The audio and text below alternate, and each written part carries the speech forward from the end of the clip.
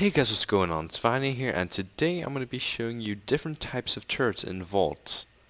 We're going to be covering gun turrets, laser turrets, rail guns, and anti-air turrets. Hopefully I didn't miss out any other ones. If I did, they will still be covered. At. So first of all, we're doing the gun turrets here, as you see in front of me. Uh, the gun turrets are used to shoot players or mobs, such as creepers and skeletons and I've created like a type of wall. So this is an example how you could use them you could use this to stop players coming in your base so if that was my base and also to stop mobs to get getting in and destroying what you've created. So I'm going to show you how to make this. Firstly you want to make the turret platform which you need one basic circuit four steel plates piston two chests and a battery.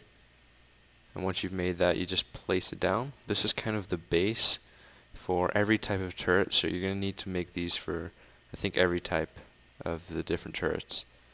Uh, now to make the actual gun turret itself, you're only going to need 4 steel and a basic circuit. So it's relatively cheap for how, uh, how efficient it is. Then you just connect it to a power source. I just have an infinite battery there. As soon as you connect it, it should start to rotate like that. Now to, you're going to need some ammunition here, as you see. So to make it, you're going to need bullet shells. These are made out of two ingots.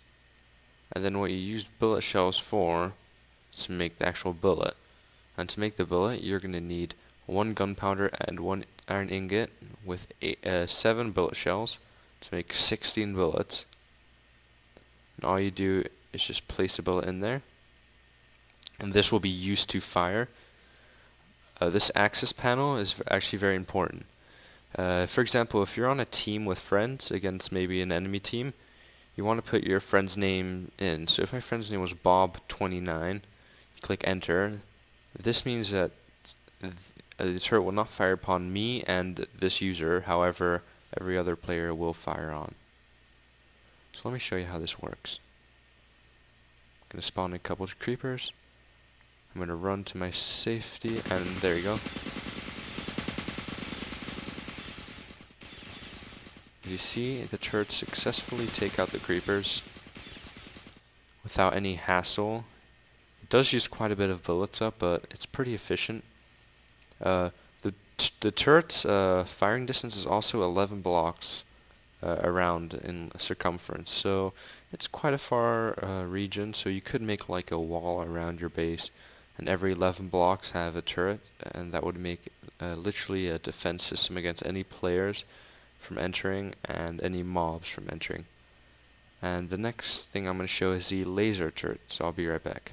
Hey guys, I'm back and now I'm going to be showing you the laser turret. Uh, the laser turret is essentially the same as the gun turret, however, as you see, it sets mobs and players on fire, and it only runs off electricity. So if you have a good source of electricity, this thing is pretty much, it lasts forever. Bye bye slime. Um, to make this, it's still very cheap. It just takes four glass, two steel plates, and a basic circuit. Um, the rate the rate of fire is a bit quicker, I believe. However, the damage is taken away from the gun turret, so it does less damage. But I could expect that because it does do, uh, it doesn't take any ammunition. So yes, that is the laser turret. Now I'm going to be showing you the railgun. I'm back with the railgun, the almighty railgun in front of me.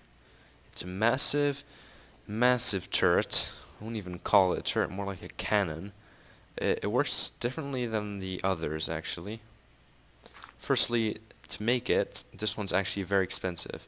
So you're going to need three diamonds, two steel plates, a gun turret, and elite circuit, which makes up with two advanced circuits, lapis, and six gold. So this is quite a costly one, however, you will see it is a very, very powerful one. It's quite overpowered for but um, the bullets, you can either make railgun bullets, which are used with for one diamond per two bullets. It's ridiculous. Or you can make antimatter bullets, which I believe aren't even cheap also. Let me find it. So yeah, one antimatter. Ouch. So these bullets are really, really pricey. But if you're rich, uh, then this this is the thing you want. So let me get a battery out. Infinite battery, my best friend. And place it in there. However, one of the consequences is that to fire this you need a redstone or a redstone source. So there. But watch this. Yep, that is it. But every time you want to fire, and there's a recharge time, obviously, you're to have to flip the switch, which I don't know how to make a redstone pulse, but I believe that you could make a redstone pulse, so you don't have to constantly flip the switch like this. So, I'm sorry that I wasn't able to create one, which I tried to. Um, however, as you see, it does do a lot of damage. I'll place the antimatter one so you can see that one. I don't think has much difference.